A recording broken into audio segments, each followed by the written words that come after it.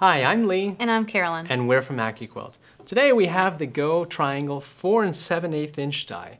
Um, with all Go dies, it's 90% faster than rotary or traditional cutting methods. This particular die is compatible with both the Go Baby fabric cutter and the Go fabric cutter.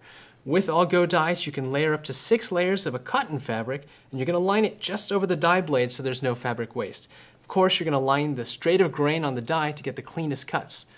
And don't forget, Lee, the dog ears have been cut off uh, for, for, your convenience. Oh, that is nice. Yeah, now this is one of the dies that's included in our mix and match, uh, one of our eight mix and match dies. Um, as you can see here, we have 72 different combinations. You want to flip it around? Sure, sure, of our mix and match dies. Uh, so there's so many different combinations that you can make. One of the um, ones I've seen there, if you turn it around, I think, what's this called? The Yankee Puzzle. Yes, Yankee Puzzle. That's very cool. Yes, and here is another great example of using the different mix and match blocks. Um, as you can see here, um, here's our 4 and 7 8 triangle right here being put to good use. So it's just another one of the reasons why better cuts make better quilts.